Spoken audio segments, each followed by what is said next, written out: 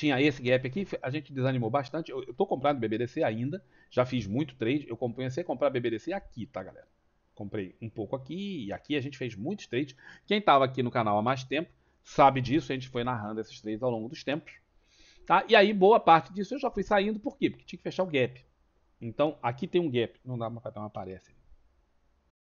Ah, não aparece por causa da bendita da, da banda de Bollinger. Mas tem, tem um gap aqui, ó. Esse gap.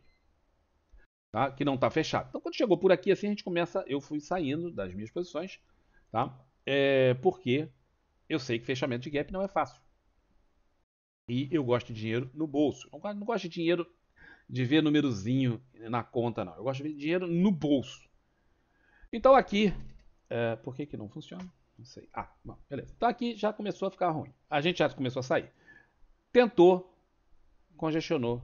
Tentou, congestionou. Tentou. Topo. Mais baixo. Mais baixo. Ah, mas não são topos imediatos, Campos. A gente, para fazer uma tendência, a gente tem que ver os topos imediatos. É, para ver uma tendência, sim.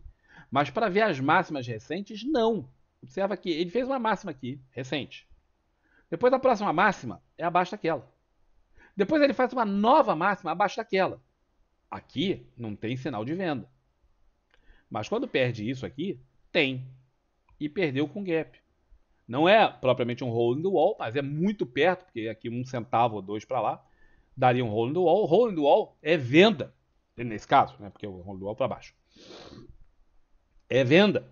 E aí o cara vende o babado para o próximo suporte. Onde está o próximo suporte importante? É aquela linha rosa lá. Sacudiu, sacudiu, sacudiu e chegou. Deu alvo ontem. Tá? Agora está testando a média de 200 e o suporte. Esse suporte dado por algumas linhas aqui de trás. Não é só isso aqui não, galera. É lá atrás. 2020 e tal. E se duvidar, eu tracei isso baseado em outras coisas aqui para trás. Ó, tem lá em 2017, 2000 sei lá quanto. Então não é um suportezinho mequetrefe vagabundo qualquer. Atingiu o suporte. Tá? Atingiu o suporte. Aqui, esse candle, ele tem mais cara de exaustão. Alguém perguntou sobre um candle de exaustão em outro lugar? É, eu não lembro qual era. Ah, foi em Petro. Aqui, ó, observa, isso aqui é uma movimentação contínua. Então, isso aqui tem cara de ignição, tem posição de ignição, tem volume de ignição. Isso aqui era um candle de ignição baixista. Isso aqui tem cara de exaustão? Na verdade, tem. Na verdade, tem. Está na região própria, tem um suporte, tem um volume que não foi assim espetacular, mas é um grande candle nessa região. Não é um candle que eu bata o olho e fale assim, isso é uma exaustão. Não, é. Mas ele tem potencial. De qualquer forma, se eu tivesse vendido em qualquer ponto aqui, eu não estou vendido em Bradesco. Tá? Pelo contrário, estou comprado.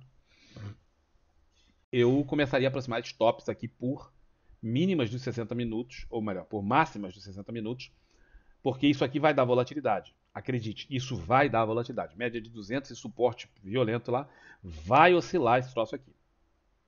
Então fiquem atentos, quem está vendido. Ah, e para comprar, dá para comprar? Bom, se você acredita em Bradesco como empresa para longo prazo, não é para o curto prazo, não é para fazer swing.